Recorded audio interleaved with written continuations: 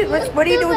Doctors. Why? Because the baby shot. Because what? They put you shot? Well, you're sick. Mommy, mommy, do you have a What are you gonna get now? Because you got a shot. Mommy, a pizza. A pizza. Mommy, ah!